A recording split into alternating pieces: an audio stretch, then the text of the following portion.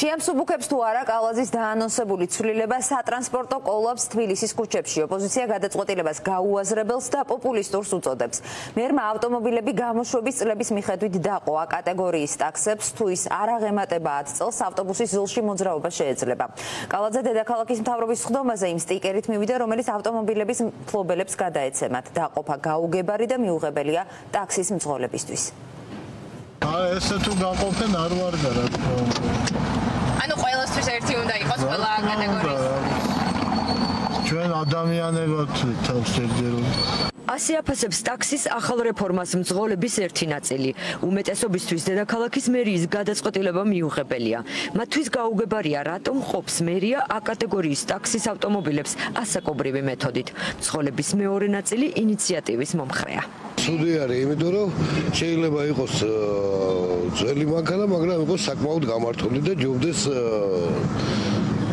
ახალ გამოშვებულ მანქანას, რომელიც გაივლის ტექნიკურ დათვალიერებას, კანონით ყველა უნდა გაიაროს ის დაიცეს წესები, რაც გამოაცხადა ბატონმა ქალაქის მერმა. ეს კარგია პირიქით, და მიდიხარ და ზავრი როგორ უნდა გააჩერე მარჯვნი. ვერ გადავდიოდით არა?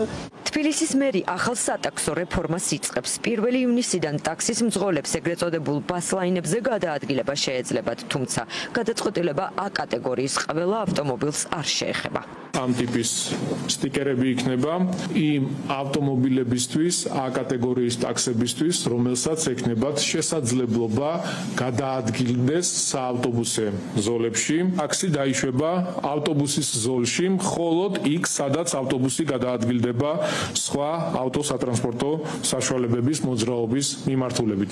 აღნიშნულ ცვლილებას უარყოფითად აფასებს ოპოზიცია. ხელისუფლების ოპონენტები ამბობენ, რომ გადაწყვეტილება ნაჩქარევი და გაუაზრებელია. მიაჩნიათ, რომ დედაქალაქში არსებულ სატრანსპორტო კოლაფს ეს რეფორმა კიდევ უფრო გაამწვავებს.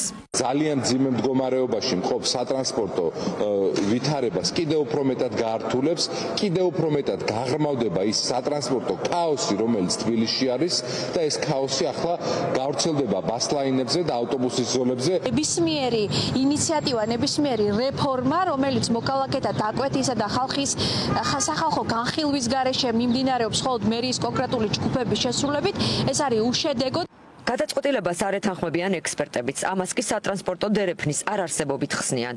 მიაჩნიათ, რომ ტაქსის მოძრაობა ავტობუსის ზოლზე დისკომფორტს იმ გზავრებს შეუქმნის, რომელიც საზოგადოებრივი ტრანსპორტით გადაადგილდებიან.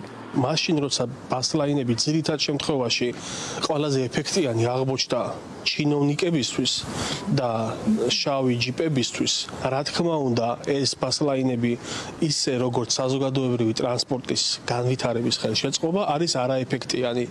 დამატებითად სატაქსო გადაადგილება ამ შემთხვევაში იქნება წარუმატებელი და დამატებითი სატრანსპორტო კოლაფსის ერთ-ერთი გამოწვევი მიზეზი. დედაქალაქში მერიამ ტაქსების რეფორმის სამი ეტაპი უკვე განახორციელა. ასევე შეიქმნა ახალი სატრანსპორტო პოლიტიკაც, რომლის მიზანიც წესით დედაქალაქის საცობებისგან განტვირთვაა. თუმცა როგორ მოხერხდება სატრანსპორტო სისტემის მოწესრიგება? ამას ალბათ დრო გვიჩვენებს. მანამდე კი საცობში საათობით გომისას მოქალაქეებს იზღადარჩენია თბილისის მერის ეს სიტყვები ახსოვდეთ. ერთად უნდა გავიჭიროთ